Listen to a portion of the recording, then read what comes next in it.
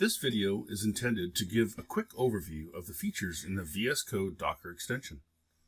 I'm going to start with a very simple Node.js Express app, and I'm going to add a Docker file to this application using the VS Code Docker extension. I'll go ahead and bring up the command palette,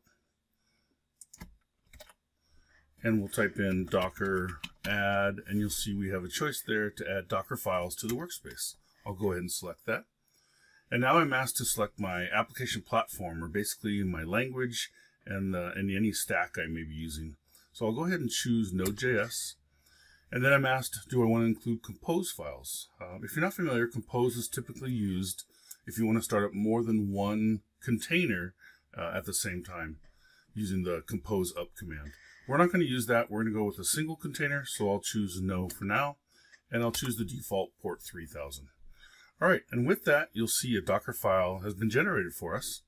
Um, you'll notice a couple nice things, some nice colorization here of the keywords in a Docker file, as well as if I hover, you'll see I get help text for that keyword, as well as I can go right to the online documentation to read even more. The other thing I get is if I do a new command, like let's say I need to copy something else, I get IntelliSense, which tells me, hey, you need a source and a destination. I can tab and then fill in my source and destination. So the extension provides you some real nice uh, Docker file editing capabilities. Let's go ahead and keep what we had. Uh, and then, now that I have a Docker file, I want to build it. The extension helps you with that too. I can just come here and do a right click and say build image. And you'll notice we put out the we output the command uh, that we're actually running. I'll scroll back up there real quick to show that so that you can see the command that we're running. Uh, and then the build occurs and that happened really quick. So we should have an image created for us. So we can go look at that image real easily by clicking over here on the Docker whale uh, that shows up after you install the extension. And here you see we have a couple of images. We have the node image that was pulled down as part of our base image in our Docker file. And then we have the image that we just created a few seconds ago, which was the My Express app. Um, now let's run that image. Uh, and when you run an image, it spins up a container and we'll see that container show up here in the containers panel. I could go to the command line and type in the docker run command with the various flags, or I can just go here and use the extension to help me run this and just do a right click run. And you'll see the command that we actually generate is the docker run command using that latest Express app image that we just built. And we include a couple flags so that the ports get mapped appropriately. Uh, now you'll see our container is running. Uh, and in fact, uh, I can do other things with that container. I can right click there and I can view the logs of that running container. So I right click view logs, uh, nothing interesting yet. Let's actually open a browser and see our app in action. Um, I can do that by opening the browser manually or take advantage of the extension again and just do a right click open in browser.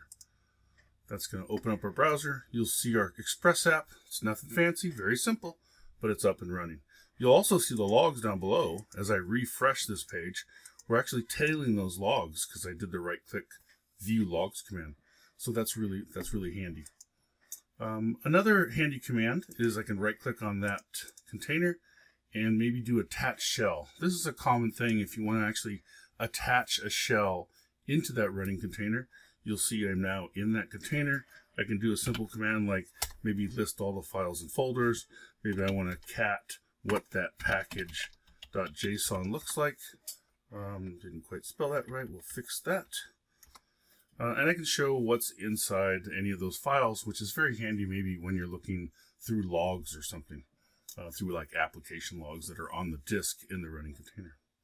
So again, you can right click on containers, do a number of things. I can start, stop, remove this.